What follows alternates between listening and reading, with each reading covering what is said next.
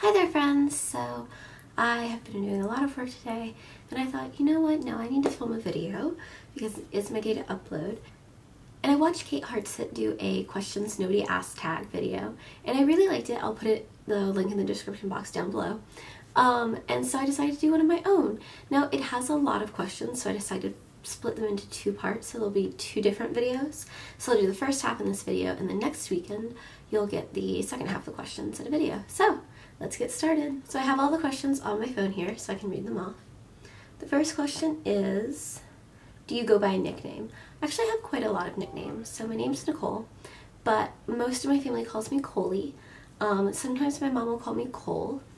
Uh, several people call me Coco. My roommate Lauren calls me that. My sister calls me that sometimes. My dad and my uncle both call me Coco Bean. So basically I go by every derivative of the name Nicole except for Nikki. Number two, when driving, do you listen to CDs, tapes, the radio, or nothing? I don't drive yet. Um, or whenever I do drive, I typically just listen to the radio because I'm still learning to drive and I don't want to get like distracted by hearing my favorite music.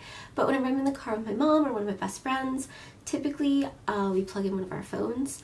I lately, whenever I'm in the car with someone, have been listening pretty much just to Hamilton um, because that's all I listen to for the most part. But um, for like long road trips, we'll bring CDs um, typically, my sister and I bring like Bonnie and Clyde, Newsies, um, things like that to listen to in the car. Are you a... Ooh, one of my roommates has friends over for studying, if you can hear them. Number three, are you a window person or an aisle person? That really depends. Like on buses or trains, I always want to be a window person, but on the airplane, I get quite claustrophobic if I sit in the window seat, so I have to have an aisle seat or I will get very nauseous, so that's kind of a pain to deal with. Number four, how do you relieve stress? I don't.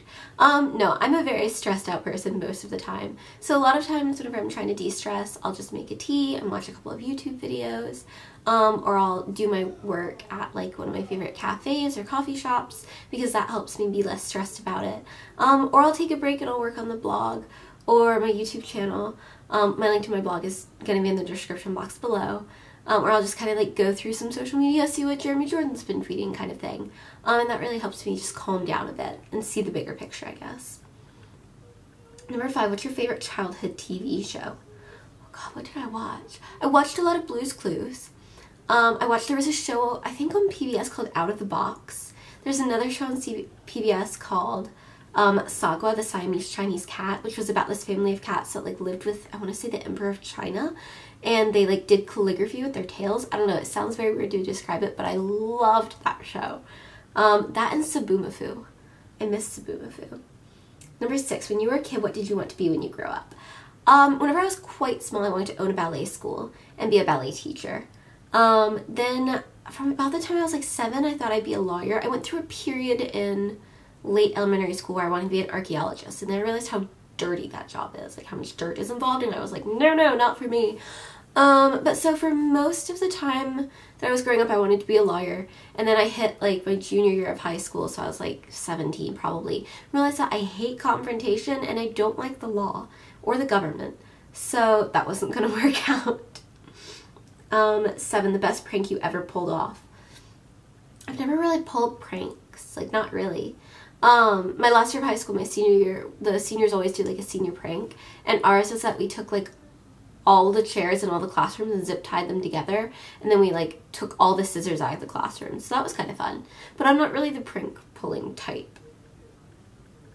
Um, eight, if you could have dinner with any three people, whom would you choose?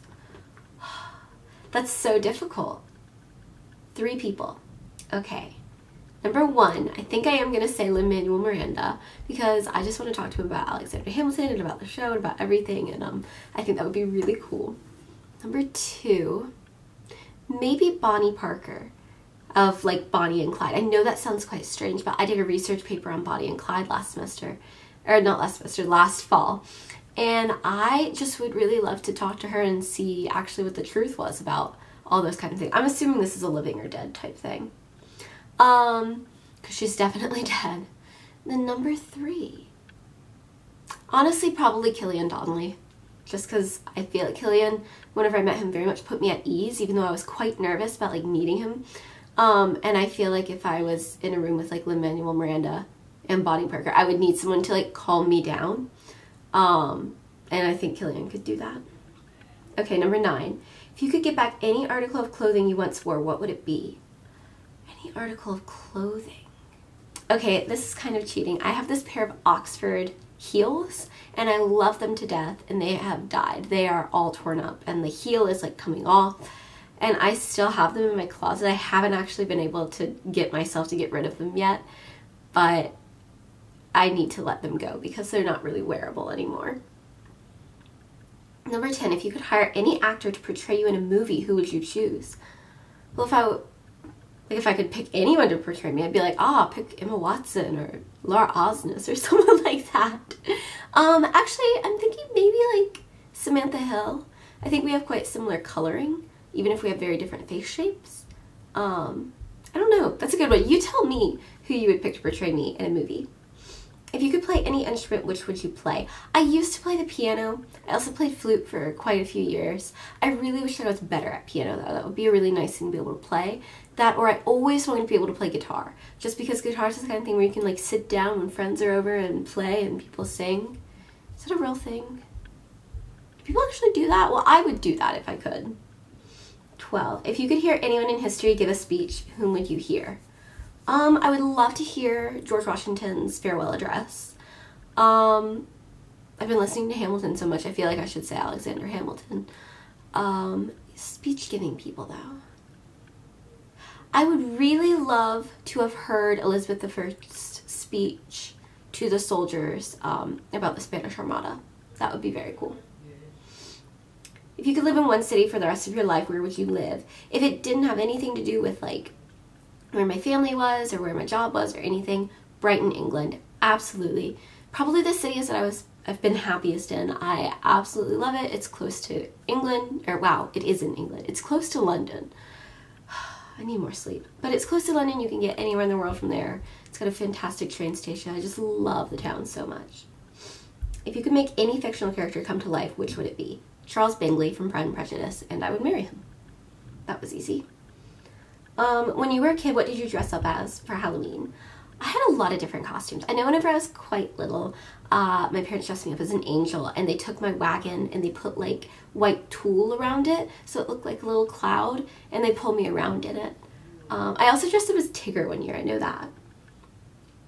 Do you sleep with your closet doors open or closed? At school, always closed. They're mirrored doors, and I don't know what it is, but I feel quite strange about sleeping with them open. But at home, I always keep my closet door open because it's a walk-in closet. I don't know why that is. It's just a thing that I do. If you could be any cartoon character, who would you be? I'm assuming, does this include like Disney characters or is it like TV cartoons? I'm gonna assume that it's Disney characters too. And then definitely I would say Princess Anna or Rapunzel. Do you take shampoos and conditioner bottles from hotels? Whenever I was a kid, I was obsessed with this. I would take every toiletry that they gave. I thought it was the coolest thing. But now I typically will only take them if I have another trip coming up and I know that I'm going to need like travel sized um, shampoo and conditioner or if it's a really cool brand like the Disney World hotels like the Contemporary and the Polynesian. I love the products that they use so I always take them. 19. Have you stolen a street sign before? No. I'm actually super, super against stealing street signs because I think that a lot of times people steal ones like stop signs that can put a lot of people in danger. Um, so I would never do that. 20. Do you sleep with your sheets tucked in or out? Kind of half and half. I like to keep them tucked at the bottom of the bed, but then I have to untuck them like around the top of the bed, like where I sleep. 21. Would you rather be attacked by a big bear or a swarm of bees. I'm allergic to bees, so I'm gonna have to fight it with the bear. I feel like the bear, like I would have a chance if it got to me, but the bees I would just be dead. Also, I think I feel like it's easier to avoid a bear than bees. I'm gonna take my chances with the bear. Okay, so that is where I'm going to stop for this video. And next week you can come back and see the next uh, rest of the questions on the next video. So thank you so much for watching. If you liked it, don't forget to give it a thumbs up and subscribe to my channel down below if you've not already. Also, I will put the links to my Twitter and my Instagram and my blog and my Tumblr and everything. So if you want to connect on other social media, we can. All right, I'll see you next week. Bye. Um, and I really liked hers. I will put it in the link below. And the what?